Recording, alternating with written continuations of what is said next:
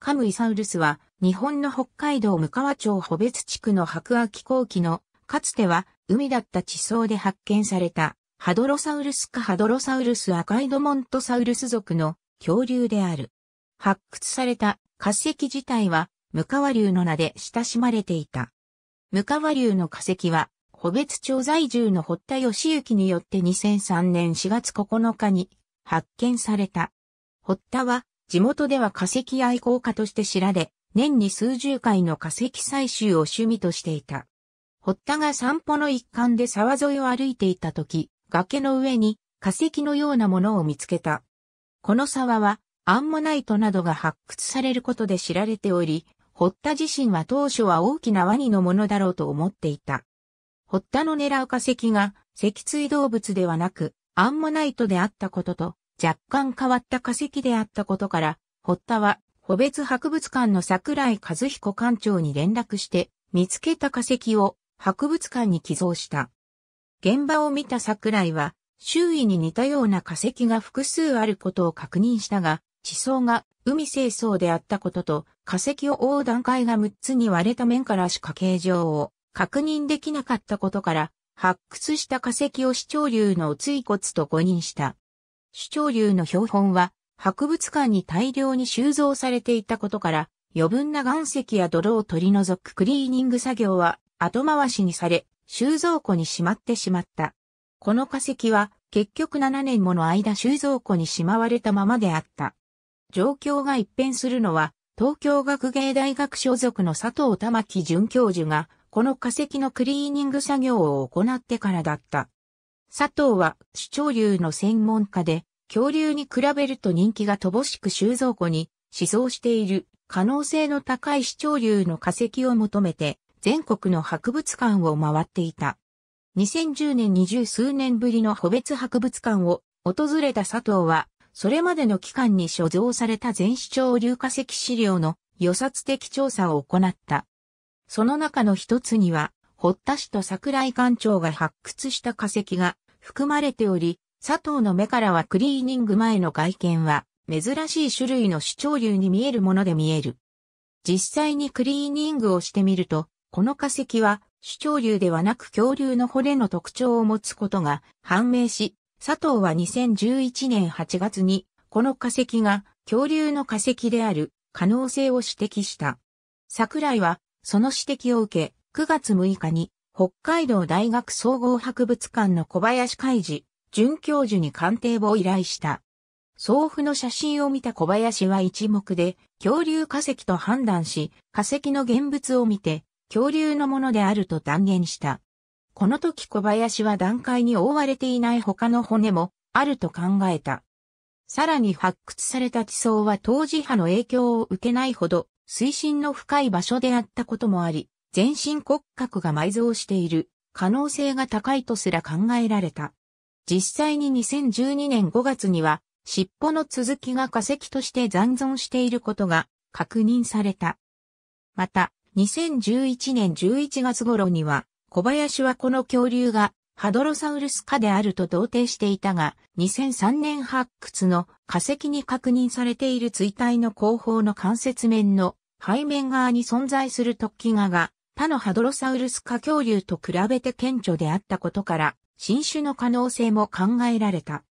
小林に説得された向川町は、総額6000万円の予算をつけて3年計画の本格的な発掘事業を開始した。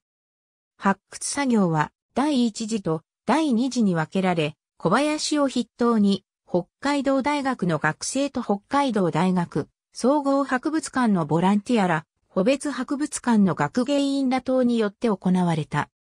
第一次発掘では1.2メートルの右大腿骨を含む甲子とお椎骨の大部分が第二次発掘では頭骨の一部や100本の歯が発掘された。この2回の発掘で掘り出された岩石付きの化石は重量6トンにも及んだ。地層が脆弱であったことや垂直に近い崖が存在したことから発掘は困難であった。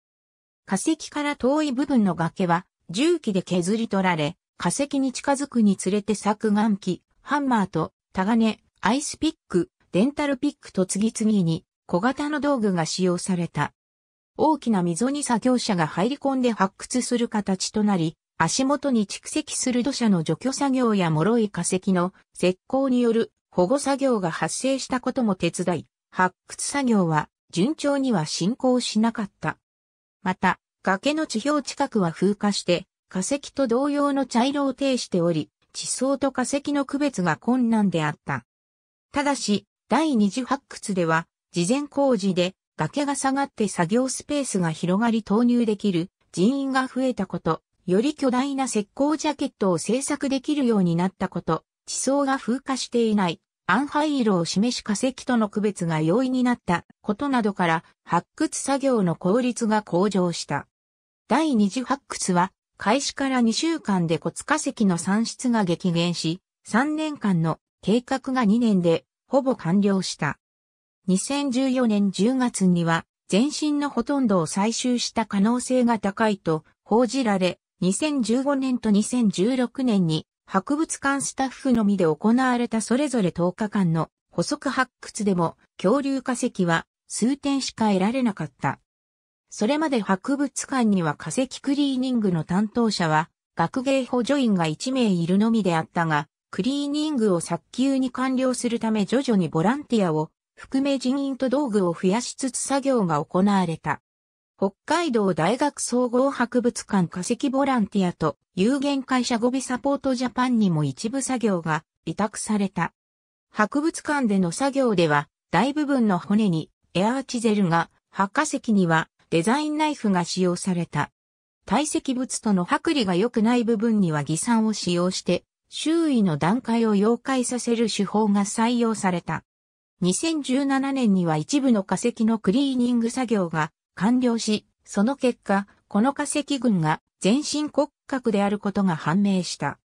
日本で恐竜の全身骨格化石が発掘されたのは、かつて日本領だったカラフトで発掘された日本のサウルスを含めれば、福井県勝山市で発掘された福井ベナートルと合わせて3例目、前者を含めなければ2例目となる。また、かつて海であった地層から発掘されたハドロサウルス科の全身骨格化石としても世界で3例目という稀な例となった。2018年3月にはほぼすべての化石のクリーニング作業が完了し、その結果、この化石が骨の個数を分母にすると60%、相対積を分母にすると80%にも及ぶ完成度の極めて高い全身骨格化石であることが分かった。頭骨、肩体、前肢、胴椎骨、腰帯、大腿骨、お椎骨はすべて存在する。この骨格化石は日本で発掘された化石としては最も完成度の大きいものとなった。北海道大学、保別博物館、岡山理科大学、アメリカ合衆国のペロー自然科学博物館、筑波大学、モンゴル古生物学地学研究所、東京学芸大学らが共同研究したところ、他の恐竜とは異なる特徴が複数見られたことから、新種の可能性がより高まった。さらに研究を進めたところ、3つの固有の特徴と13のユニークな特徴を合わせ持っていることが分かり、従って親族新種であることが認定された。これらの研究成果は、イギリス時間2019年9月5日に、イギリスの科学雑誌であるサイエンティフィックリポーツに掲載された。くしくもこの日は、向川町にも大規模な被害を及ぼした北海道、胆振東部地震からちょうど1年という日であった。北海道で発見されたことから学名には、先住民であるアイヌの言葉で、神を意味する、カムイを含めた、カムイサウルスジャポニクスと命名された。意味は、日本の竜の神としている。向川流の名称をめぐっては争いも見られた。2018年に、補別出身者の会は、向川流が合併で消滅した旧補別町から産出したことを理由に、現向川町にちなんで名付けられた向川流を解明するよう主張した。5月には、名称決定の過程の情報公開を求める公開質問状と解明を求める3029人分の署名を提出し、7月13日には通称名の使用停止の要請書を送付した。向川町長の竹中義行はムカワ竜という通称を継続する方針を固めた。また、ムカワ町は2017年7月7日に、ムカワ竜という通称の商標登録を申請し、2018年11月30日付で、文具、書籍、ファッション、食品など9分類での登録が完了した。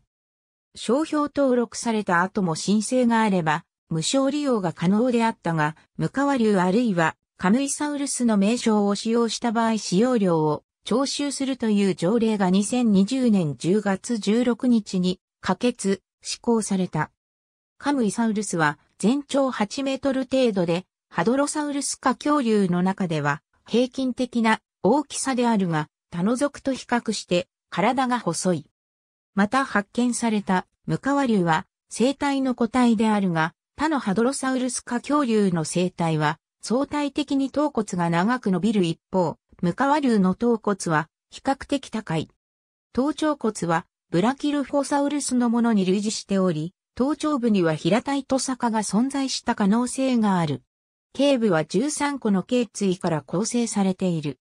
その後方に並ぶ同椎は、第6同椎と第12同椎の神経トゲが前傾しており、これはカムイサウルス独自の特徴である。肩甲骨は後ろに向かって単調に幅が狭くなっており、ハドロサウルス赤の特徴を示す。上腕骨をはじめとする前足は、ハドロサウルス科恐竜の中では、細い部類に入る。上腕骨周囲長が25センチメートル、大腿骨周囲長が45センチメートルであることから、カムイサウルスが四足歩行をしていた場合の体重は5.3トンと推定される。頸骨断面に見られる成長停止線が9本確認されたことから、すでに成長過程で消失した停止線を加味し、無川流死亡時の年齢は12、3歳と推定される。停止線の間隔から3、4歳で急成長し、7、8歳で成長速度が低下したことが読み取られている。2019年に東京都の国立科学博物館で開催された恐竜博2019において、ムカワ竜はデーノケールスと並んで目玉展示として扱われた。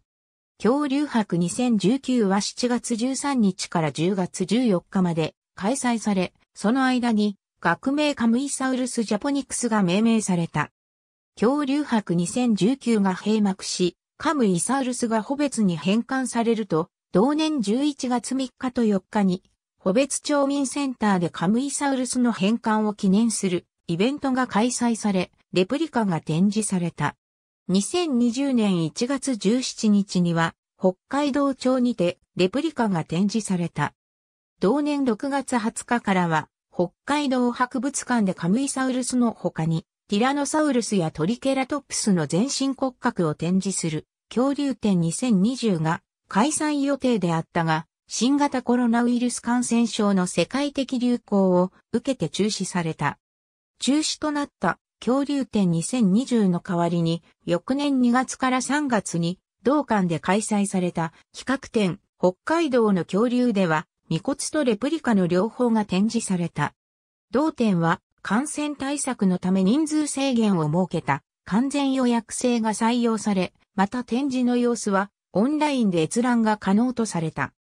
2021年3月には660万円の事業費を投じ、実物の約5分の1程度の大きさである全長155センチメートル高さ65センチメートルのミニレプリカが完成した。分解や組み立て及び持ち運びが従来の実物大レプリカと比べ良いであることから、教育活動やイベントでの利用が見込まれている。